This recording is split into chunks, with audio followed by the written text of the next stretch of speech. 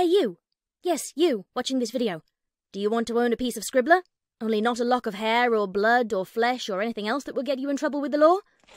Well, now you can, with t shirts, hoodies, tote bags, and mugs featuring Obab Scribbler at her Teespring store. You know you want to. I shall now stop talking in third person and send you on to the video. Be lovely to each other and enjoy the show.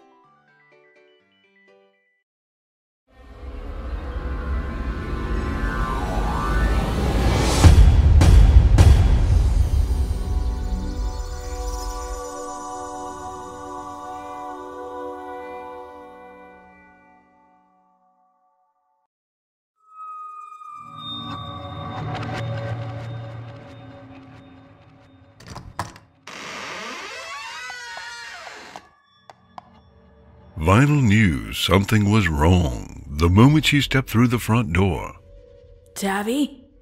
The empty hallway threw her voice back at her. Tavi? Are you home? She should have been back from practice hours ago. The clock on the wall read just after eleven. Vinyl would have winced had the fur on the scruff of her neck not been raised. The air was wrong. It was too quiet. Plus, all the lights were off. Octavia hated the dark. Whenever she was home, lights blazed even in rooms she wasn't in. Vinyl wasn't sure why she hated the dark so much, but she had never questioned an excuse to snuggle tighter under the covers of their bedroom at night. She eased the door shut behind her. Every instinct told her to be on guard. She was usually very good at ignoring raw instinct, but right now her guts were clenched so tight she could barely breathe. Something was wrong. Both instinct and intellect told her something was very, very wrong here. She was nearly at the kitchen when she smelled it. there was no mistaking that coppery tang in the air. She knew it better than the insides of her own lids when she shut her eyes. Blood. Vessels strained to pop behind her eyes. Her mind felt for the spell out of habit. The limiters was still in place, just like always. The loop was still intact. Even after all this time, buried under so many layers, she worried about doing something that could give her away. Or worse, do the impossible and break the loop. Right now, however, too much of her was panicking to even think about how she looked. Blood in her house? In her home? How? Why? Whose? Tavi. Alarm washed through her. She kicked the kitchen door open with such force that the handle lodged in the wall and stayed there. Blood scent hit her with the same level of force, lodging in her nose and throat like barbs. Her nostrils flared, her eyes widened, her mouth became a shrinking zero of surprise and horror. She couldn't move. Damn it, she should be moving. Why was she just staring like a deer on a train track as the Canterlot Express barreled towards it? The pony on hind legs by the kitchen counter looked over his shoulder and smiled. It was, in all fairness, a nice smile. A nice smile and a nice face, even. One might even say it was a pretty smile, set as it was against a backdrop of white fur and eyes that crinkled at their corners. This face, those wrinkles seemed to say, smiles a lot. It wasn't until you got to those eyes that your opinion of the face changed. Even then, some ponies might not discern the truth. Ponies were not always perceptive when it came to spotting dangers amongst their own kind. They were a race focused outward, looking for hazards from outside their perfect little society. It was probably some throwback to a bygone age when they lived in herds and had never conceived of things like cities, houses, or mass murdering psychopaths. Ponies didn't kill. Ponies didn't hunt their own. Vinyl had always found it a useful trait to various ends of her own. The stallion's raw presence was intoxicating. He didn't even need to say anything. He just had to be, and ponies flocked to him. They never saw the pinpricks of cunning deep in those eyes. They didn't recognize the calculation in his every nod and gesture. Mostly, they never got past the smile. Not until it was too late. Vinyl remembered that smile. She remembered it all too well. You're home! His voice was as handsome as the rest of him. A slight accent clung to his words, not enough to be noticeable, but enough to make his speech patterns more formal and attractive to the ear. A true predator did not miss any trick, after all. We were beginning to think you were not coming, my dear. Were you waylaid at work? Vinyl tried very hard to keep herself steady. Put her down, Voron. Well, there is a nice hello. And after I made such an effort to be civil, too. Put her down now. The stallion shifted his gaze. Oh, but we were having such fun waiting for you to arrive. You always did have such good tastes, my dear. I see that hasn't changed. He grinned. I might have had a little taste. You did keep us waiting for an awfully long time. Octavia's eyes were huge with panic. She stared at Vinyl and might have run to her had he not pinned her against the wall beside the counter with all four hooves off the ground. There was blood on her shoulder. It didn't show red, just darkened her gray fur into black tufts, where Voron's mouth had been. A dark line traced a path like filigree to her hoof tip. She had bled enough to make spatters on the floor. Vinyl! She stuttered, terror robbing her of her usual confident speech. Run! Vinyl. The chuckle that coated her name was like an oil slick. Seriously. All the names in the world you could have gone with, and that was your choice. Voron shook his head. So did you name yourself after the record or the fabric? No, wait, I I see you have been drawing on yourself. Musical notes? The record then. Hmm, I am disappointed in you, Vanelda. I thought you had more imagination. Don't freak, don't freak, don't freak, don't freak, don't freak. Vinyl's mind tripped over itself as she fought the simultaneous impulses to run, fight, and just stand there. That voice, that damned voice. She had spent too many sleepless hours trying to force it from her memory. And now here it was. Here he was. Here, in her kitchen, in her home. He couldn't be here. She couldn't let him be here. Stupid, stupid, stupid. This is all my fault. I should have guessed. I should have known. Vinyl swallowed back her recriminations. Put her down. You know you don't want her. Don't I? Voron's tone remained playful. It was a thin veneer. No. You want me. Octavia looked between the two of them. She had no idea. She had no friggin' clue. Oh, she had an inkling of how much danger she was in. Her bleeding shoulder and fear stink told Vinyl that much. Yet, she didn't know the rest. She didn't know who Voron was, what Voron was, or why he was here. Otherwise, she wouldn't be telling Vinyl to run. Or maybe she would. This was Octavia, after all. The kitchen was a mess. She had fought him. She had fought him hard. Somehow that pleased Vinyl. No way would her girl go down without a fight. No freaking way. Except this was Voron, and that was a very, very stupid way to think. If he had allowed Octavia to fight back, it wasn't because she posed an actual threat.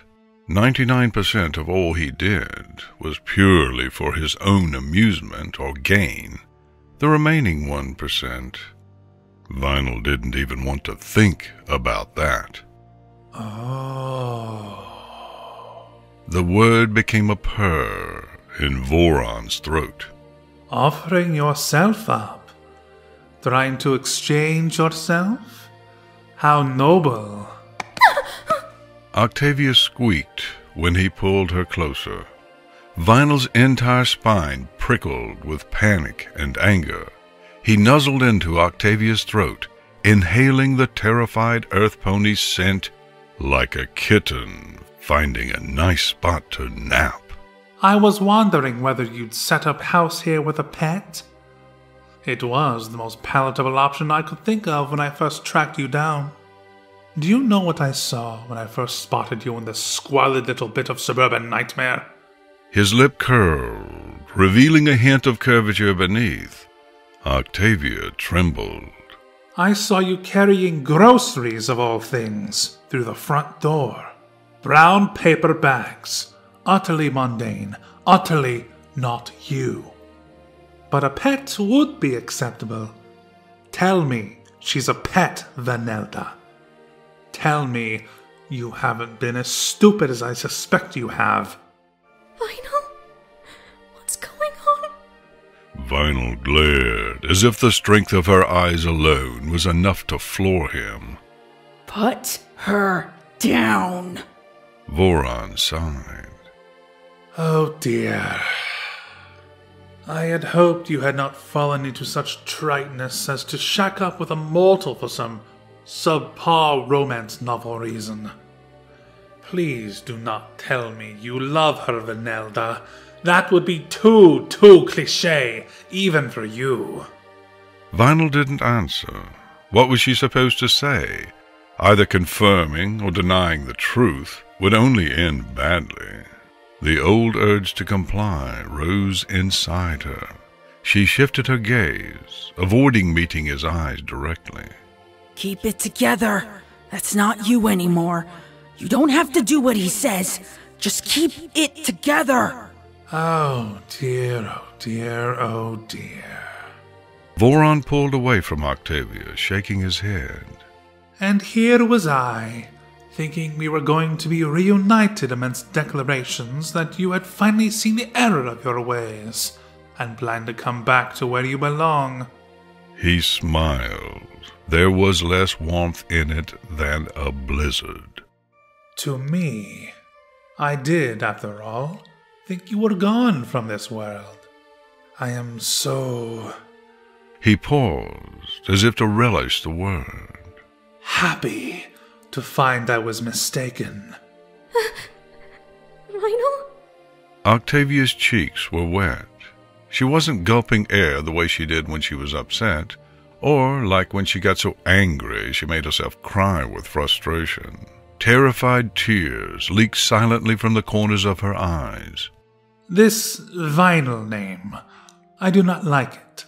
Stop calling her that. Voron shook her for good measure. Octavia's head joggled like a balloon on a stick. Voron, stop this! Vinyl cursed the desperation that crept into her voice. Why do you not call me Daddy, Vanelda? Anyone would think you do not care for me at all. Vinyl couldn't look away from Octavia. I'm sorry. I'm. I'm so, so sorry. I should have told you. I should have been honest, but how could I? How could you have even believed me? And even if by some miracle Octavia had believed the wild and crazy story, what then? She would have left Vinyl. Or if she hadn't, she would never have had peace of mind again. The truth would have stolen something from both of them that they could never get back. The only debatable things were what and how much. Voron glanced back at Vinyl. The sudden movement dragged her attention away from Octavia. The whites of his eyes had darkened to pink. She recognized the sudden burst of anger, thinning the pupils into slits. Her stomach lurched. She took an involuntary step forward, foreleg raised as if she wanted to pull him off. It was the worst thing she could have done. I thought so. Voron's mild tone did not match his expression at all. You have fallen for this one. Oh, Vanelda. My poor, poor, dear little Vanelda. Do you not know that this is pure foolishness? Lay with mortals, certainly, but never fool yourself into thinking you love them. Pink shadowed into red as he turned his attention back to Octavia, hugging her tight against him like a lover. She has your heart. Octavia's chin rested on his shoulder, facing Vinyl. She opened her mouth to speak again.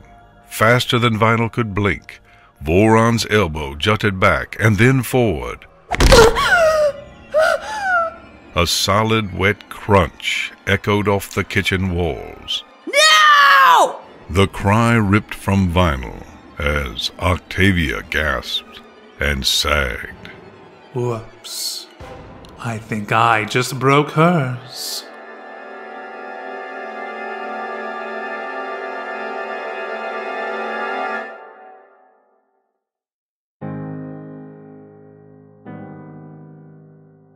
He came for her the night of the festival. She was wearing the frock Mother said she had worn at her age. She hadn't inherited Mother's dark fur, but the yellow fabric looked just as good against white. She laughed and pranced about as Mother tried vainly to tie a ribbon in her tail. Winter song! Mother laughed. Hold still, or you should look like a mess. But the unicorns will be setting off the fireworks soon! Mother! Why must I wear a ribbon at all? You look pretty in ribbons. I look foolish, and foolish, and stupid. Pretty. Mother insisted, pulling her close with magic. It always went like that. Magic was the only way she would keep still long enough to be decorated, no matter how pretty the dress, nor silky the ribbon. Mother! The cottage door smashed open. Both of them gasped. Instinctively, she hid behind her mother's skirts. They had each dressed up for the festival, and the folds of fabric shielded her completely from whoever was trotting inside. Now, what manner of ill breed equine would. Mother stopped abruptly. You. She said in quite a different tone. Good evening, Spring Blossom. My, my, but you do look quite lovely tonight. Are you going somewhere? No. No, you can't be here. This isn't. How did you find me? A fine greeting after I came all this way and paid you a compliment. This is. This is too soon. She's only a filly. The stranger sighed. Soon is relative. My arrival is not too early by my estimation, merely yours. You said her 18th birthday. You promised that you would do nothing until she came of age. And you said you would raise her in luxury. This cottage seems somewhat less than the finery in which I first found you. Did you truly think that you could hide her from me, Spring Blossom? For shame. When, when you told me. If, if I kept your secret. I, I could. You said 18. I have changed my mind. You cannot. I assure you again, my dear, that I most certainly can. You speak as if we are equals who sat down to parley and discussed terms. Any terms of our agreement were never yours to define. It suited me, then, for you to take care of the business of raising her while I attended other concerns away from this land. I thought she would have access to high society, would be accepted amongst courtiers and nobles if she grew as one of them. Indeed, I also found it quite amusing that you thought you could blackmail me with my own identity. No doubt you thought relinquishing your family name and fortune would allow you to hide her from me. But you are wrong. I can always find those who have my blood in their veins. Now it suits me to retrieve what is mine. Therefore, I have come for her. No! I will not let you. She's just a child. You will not let me? The stranger's voice lilted pleasantly. It sounded nice. Even as he crossed the floorboards in a few quick strides and shoved his face into Mother's, he sounded like he was complimenting the weather or asking politely for directions to the nearest alehouse. You are right. She is a child. She is my child. Or did you forget that? Just look at her, Spring Blossom. Look at her and tell me she's not mine. I. I. Please, you have others. You said you had others. And she's so young. Please, leave her. Leave her with me just a little longer. So that you may spirit her away and try to hide again? I think not. At least let her grow up first. You speak as if I mean her ill. This was always the way things were going to be, Spring Blossom. You knew I would come eventually. That I have elected to arrive eleven years before you expected me is neither here nor there. I was always going to come for her. Or did you think that hiding yourself away in this little hovel and getting out of your fine clothes only for festivals would buy you more time? Did you intend to fool me when her 18th year came? Did you honestly think you could keep her from me by pretending you were a peasant? You? Nobility shines through even the worst grime, my dear. You are as lovely as the day I chose to woo you. You chose to make me your brood mare. And yet I did not see you cast her off a cliff. Others before you have done as much, or taken themselves off to die when they find themselves bearing my folds and the truth wriggles in their bellies. Some even died trying to rid themselves of their pregnancies. But you. I do not think that even crossed your thoughts. You were always so soft, Spring Blossom. In truth, I am surprised you gave up your wealth so easily to keep her from me. Or me from her. Clearly, you did not mind laying with me so very much, if you were willing to raise my gat and safeguard her like some precious thing, even after you knew the truth. What is her name? Please, leave us.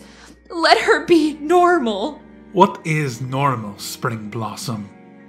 To be your normal is to be weak.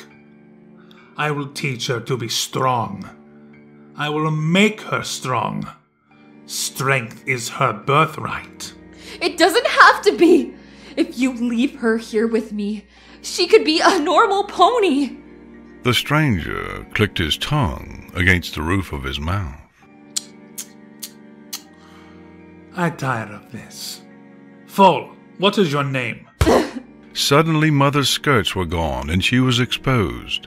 She stared up at the stranger. The crash of a finely dressed body against the wall made her tremble. Mother! The candle lay on its side on the floor, flame guttering. Mother had always told her to never let the flames touch the floorboards. She scrubbed those boards every week and was very proud of them. Now, wax dripped sideways onto the wood, and the candle flame licked greedily at them. Here, little one. Murmured the stranger. Look at me. Look into my eyes. No, don't! Winter Song, run! Mother coughed as she stumbled to her hooves. Red stained her hairline. run! Run away and don't look back! She couldn't move. She was transfixed by the stranger's peculiar eyes. They seemed almost luminous in the flickering glow. The whites darkened to pink as he murmured pleasantly at her. There we are. Good girl. You are a good girl, aren't you? You're my girl. My own sweet girl. Her mouth ran dry. She couldn't even blink as she watched the pink bleed away into dark red, like some pony had held a glass of red paint in front of the flickering candle. The chair Mother had been sitting in slammed into the stranger. He hurtled sideways into the wall and slid down. Encased in sparkling blue magic, the chair rose again and smashed down on him. Run now! Run, Winter Song! Mother shrieked at her, horn aglow. As she ran, blinded by frightened, confused tears, she ran out into the darkening evening. Her tiny hooves ate up ground as fast as they were able. When she was halfway down the hill, she realized that following the path might be a stupid idea and banked left, aiming for the forest tree line. Mother! A scream, abruptly ended, made her stop. It was the first of many mistakes she would make with him. he landed in front of her, as if from a great leap, eyes red from lid to lid, save for an incandescent white ring around each slitted pupil. He looked like a demon, risen straight out of Tartarus. She screamed and tried to run again. He had no horn or wings under his cloak. She could outrun him. If she could just get to the village, then maybe she could. He overtook her madcap dash and plucked her up in his forehooves like she weighed nothing. She kicked and fought, but could do nothing more as he brought his face close to hers. Her struggles ceased when he bared his teeth. A pair of pointed fangs gleamed at her. Winter Song. He said, thoughtfully. I do not like that name. It is a weak name for a weak pony who hides behind her mother like a coward. You shall have a new name to begin your new life. What, what did you do to Mother? Her voice came out a squeak. You will think no more about her. He said dismissively, as if simply saying it was enough to make it so. That life is over. Your real life begins now. Real life? The stallion smiled, his white mane fanned around his face, making strange shadows dance across his fur. Vanelda. Yes, I like that name. It means strength where I come from. I am going to teach you how to be strong, Vanelda. It is unfortunate that your sister died so unexpectedly, but things are what they are, and because of her stupidity, you will take her place at my side sooner and learn of your rightful place in this world. He pulled her in close. No! She didn't know what he was going to do, but the whisper of his breath against her throat reignited her struggles. He held her out again and shook her. Do not misbehave! I am your father! You will show me the respect I am due! She froze and stared at him. Her father? Mother had told her father died before she was born. It was why they lived in poverty. Father had not made a will, and mother had lost everything. That was why she spoke so much nicer than the ponies in the village, but still worked for them, cleaning their homes. That was the second mistake. She should not have met his gaze. It snagged like a hook into her eyeballs. Something inside her pulled towards him. A writhing, twisting, ethereal snake, slowly uncoiling in its burrow after a long sleep. He pulled her close again. This time she was pliant. Her neck burned. It felt horrible, like the time she stayed out too long in summertime and had heat sickness. She gagged, especially when she heard swallowing close to her ear. Her vision was starting to gray out when he put her down. She couldn't stand, but that didn't seem to matter. Firm hooves turned her face upwards and pulled at her lower jaw. The stallion's voice seemed to come from far away, but his hooves were a vice around her muzzle. No. No daughter of mine will have half strength because she botched her own awakening. She continued to cough and choke, eyes flying open. She couldn't breathe. She could barely think. The snake inside her was made of fire and hot metal. It thrashed and sliced through her organs. Her gorge rose. She tasted bile. Still, he held her mouth shut. The backs of her eyes prickled as she stared up at him, pleading to let her spit out whatever vile thing was shredding her guts. Gradually, the burning flowed outwards, spiraling down her legs and up into her head, lighting every nerve ending ablaze. She was made of fire and flesh and tears that ran and sizzled away in the flames of her own destruction. Her eyeballs were going to explode. His face and all the sky behind it tinted red. I've never had a unicorn daughter before. He purred. Let's see if you're any stronger than the others. And with her guts on fire and her mind in turmoil, she died for the first time.